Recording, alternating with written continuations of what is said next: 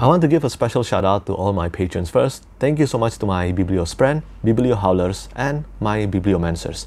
It means a lot to me that you give me your extra support for my passion and hobby. Hi everyone, uh, Petrik here. So you have probably seen my videos on uh, priority series that I want to start and finish uh, next year and also my list of most anticipated book release of 2024. But before we reach 2024, uh, well, there is still one more video to talk about and it is a list of the books that I want to read before the end of the year, before we reach uh, 2024. And as I always say, I don't usually read a lot of books in the month of December.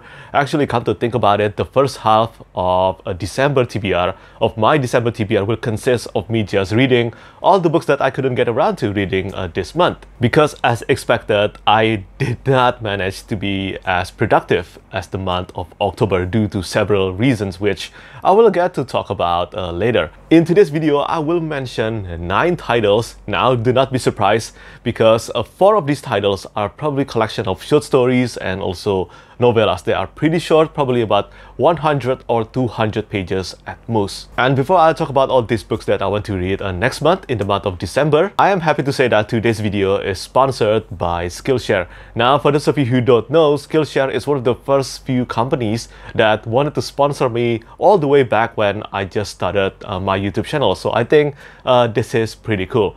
But yeah, today's video is sponsored by Skillshare. For the uninitiated, Skillshare is an online learning community Skillshare has classes on a wide variety of topics including illustration, graphic design, photography, creative writing and animation, cover art and cover design, film and video making, social media, and many more. Whether you want to learn the basics of video editing, watercolor painting, or learn how to start your own creative business, Skillshare has classes to take you from beginner to pro alongside a supportive community.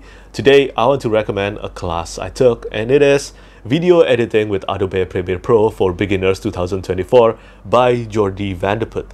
My YouTube channel is three years old now, and I feel like when it comes to editing, I still have a lot to learn. Sometimes it is necessary to go back to the basics again. Video making and editing is a step every YouTuber has to take, and the purpose of this class and video is to teach you those integral first steps in video editing. I often get asked which lesson about video editing to take to become a booktuber, and this video lesson is a great example that covers all the necessary first steps. The first 500 people to use the link in the description will get a one month free trial of Skillshare. Thank you so much to Skillshare for sponsoring today's video. And now let's talk about all the books that I want to read before the end of the year. And the first one is uh, The God is Not Willing by Steven Erikson. I have talked about this in my previous TBR video. Well, honestly, I have no idea how many times I have mentioned The God is Not Willing in my TBR video, but this time I'm making it pretty clear that I will be reading this. This will be the first book that I read in the month of December. And yeah, this is the first book in the Witness trilogy, a sequel trilogy to the Malazan Book of the Fallen by Steven Erikson. The 10 books epic fantasy series by Steven Erikson that has become one of my favorite series of all time.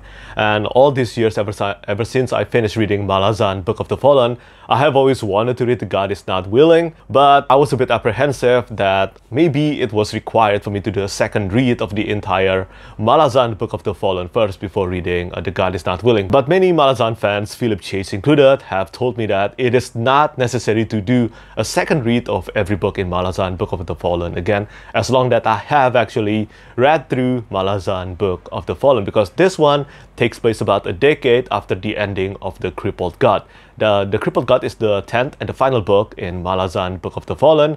And yeah, I look forward to reading uh, The God is Not Willing. Finally, this is, as I said, the first book in the new trilogy. I am not sure uh, when the second and the third book of the trilogy will be released. But I am excited to, well, to go back to the world of Malazan. And some of you might know about this, but I am currently working on a cover art of the entire Malazan Book of the Fallen, the Broken Binding Edition, together with a cover artist named Felix Ortiz. I think many of you who follow my channel will know who he is, and the progress has been going really well. For the first book, uh, Gardens of the Moon, we'll be working on Dead House Gates and also Memories of Ice really soon. That's all I can say about this. After The God is Not Willing, I have to mention this book by my friend, uh, Philip Chase. Yeah, Philip Chase, as I think many of you know, is a huge fan of Malazan Book of the Fallen, and I wanted to get around to reading this one uh, within this month, but apparently that is not possible. It's not even because I didn't read a lot of books. I have actually read uh, I have actually read seven or eight titles.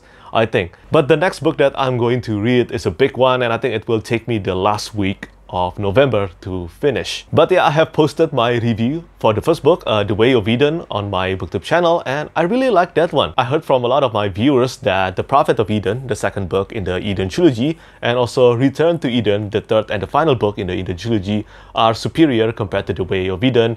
And I have kind of missed reading a Philip Chase writing, and yeah, his writing style kind of reminded me of uh, Tad Williams and also J.R.R. Tolkien's. It seems like a blend between the two of them, and yeah, I just want to read a prose like that again in the classic fantasy that is told with a with a modern voice, and I think I will get that again in the Prophet of Edan. Hopefully, this will indeed be better than The Way of Edan, and yeah, I will read this one after the God is not willing. As for the next two books that I'm going to read, these are kind of responsible to why uh, my November reading month is not too productive, and it is uh, Cytonic by uh, Brandon Sanderson. So I wanted to read Cytonic uh, within this month and also finish the entire Skyward Flight uh, Omnibus edition uh, this month. But I couldn't do it because uh, the Skyward Flight, for those of you who don't know, consists of three titles being combined into one omnibus edition. They are marketed as novellas, but I don't think these are actually true because these three titles, uh, Sunreach, Redawn, and also Evershore, they are bigger than I expected. Each title is about 60,000 words long. That's the length of a short novel, not a novella. Novella is usually below uh, 50,000 words long. So I managed to read a Sunreach and Redawn, but I have to take a break. Yeah, uh, those two titles, although they were good, they they weren't something amazing and I wanted to take a break from Cytoverse and that's why I will be reading uh, Cytonic in the month of December. Uh, I heard many mixed things about this one. Hopefully I don't end up feeling too disappointed by Cytonic. And then after that, I will read the final title in Skyward Flight, uh, Evershore. I heard this one is the best of the Skyward Flight uh, omnibus, and I hope that will be true. So it seems like it will not be possible for me to read Defiant in the month of December, and I guess I have to uh, read that in the month of January instead. So the four books I just talked about, they are pretty much in my November TBR videos. But for these remaining five titles, well, they are pretty much a standalone or maybe novellas or even collection of short stories. So basically, I don't want to start anything new, any new series after I'm done reading the previous four. And that's also assuming that I can actually read through all five of this. And the first one that I want to read, uh, this is a standalone novel by Palmer Pickering, Heliotrope. I haven't actually heard a lot of things about Heliotrope, but based on what I heard from my fellow booktubers friends who have actually read this one, it seems like this will be a standalone novel that I will enjoy because this, uh, this is a one-off standalone novel written in supposedly an accessible writing style, plus it has some of my favorite tropes, and that includes the badass and the child trope. That is one of my favorite tropes in storytelling, and I think from this premise it is confirmed that this badass and the child trope will be included this and also found family. This is the premise of the book. Teleo is a retired soldier descended from mages who were cast out of power generations ago. After years of war and sorrow, he wants nothing more than to live a quiet life on his farm and work his stonemason's craft. His wife and daughter had been murdered during a war raid several years earlier, and his young son stolen by the enemy side. He spent years unsuccessfully searching for his son and returned home broken-hearted. At the local castle, he comes upon a war orphan stolen by his side from the enemy and rescues him from abuse, adopting him as his foster son. Teleo is working on a stone mosaic for the queen at the castle when he finds himself in the middle of a coup. This launches a journey to protect his new family, uncover the secrets of the ancient ways, and reclaim the magic of the mages. I think Heliotrope will be something that I really enjoyed, and I look forward to reading this one uh, in the month of December. And once I'm done with Heliotrope, I plan to read uh, Tales of the Sun Eater Volume 2 by Christopher Ruocchio. So at the time of recording this video, I am about to start reading A Demon in White the third book in the Sun Eater series. And I think you will hear me, I think you will see me or hear me talking about Demon in White really soon on my YouTube channel. If all goes according to plan, I want to post a book review of Demon in White on my YouTube channel as well. But yeah, after that, I plan to read uh, Tales of the Sun Eater Volume 2. I have actually read Tales of the Sun Eater Volume 1 uh, this month, and I think it was a bit of a mixed experience for me, but it's always it always happens when it comes to a collection of short stories unless it is a collection of short stories written by Ken Liu. But yeah not every author can be Ken Liu when it comes to writing short story. I just think Christopher Ruocchio is always at his best when he's writing in a novel format in a big novel format. And yeah I am very pumped to read Demon in White. And I will be keeping my fingers crossed that Tales of the Sun Eater Volume 2 will be better than Tales of the Sun Eater Volume 1 uh, after I posted my review on Goodreads some have actually mentioned that Tales of the Sun Eater Volume 2 is actually better than Volume 1. And yeah, I'm excited to get around to it. And after I'm done with Tales of the Sun Eater Volume 2, I want to read The Heart of What Was Lost by Tad Williams. In my list of priority series video and my most anticipated books uh, video of 2024, so many comments told me to read The Heart of What Was Lost before I start reading The Last King of Osten Ard. Don't worry about it. I have always planned to read all the books and all the novellas in the uh, Osten Ard Saga by Tad Williams. And yeah, this is why I will read The Heart of What Was Lost first before we reach The Last King of Osten Ard Journey in the year 2024. This one I think takes place after the end of the Green Angel Tower and once again, I'll be reading this together with my patrons who have went through the journey of reading through Memory, Sorrow, and Thorn together with me. Very excited uh, to get back to reading Tad Williams' books, not gonna lie. And finally, uh, for the last novella, this is still a possibility assuming that a review copy do actually arrive at my place.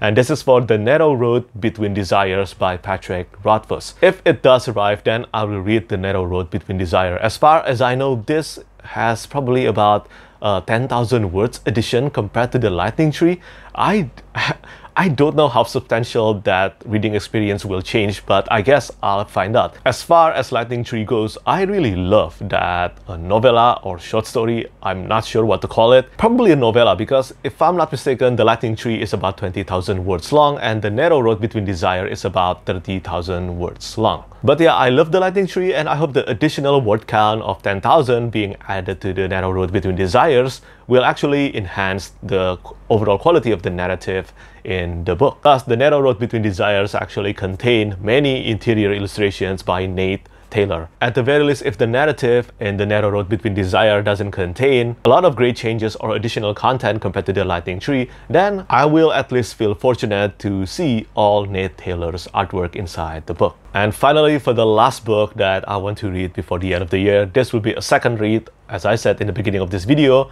of one of my most uh, favorite book of all time. And this will be a second read of The Sword of Kaigen by M.L. Wang. And apparently, I read The Sword of Kaigen in January 2019. It's almost five years since I read The Sword of Kaigen for the first time and ever since then, the popularity and the praises for this book has pretty much skyrocketed. And I am very pleased about that because this book absolutely deserved it. I think to this day, this is still my favorite self-published fantasy book and also my favorite standalone novel. And now that I own this beautiful limited edition of The Sword of Kaigen published by Readmark Creative, I'm able to dive back into their story again this devastating and emotional story has been sparked uh, again. And yeah, I look forward to doing a second read of The Sword of Kaigen as my last read of the year. So that's it. That's my December TBR. That's all the books that I want to read before the end of the year. Do let me know what you think about my December TBR and how many books do you plan to read uh, next month? Do you plan to read a lot in the last month of the year or not? As always, thank you so much for watching and thank you for your support. Bye bye. Lastly, I want to say thank you so much once again to all my patrons who keep on supporting me.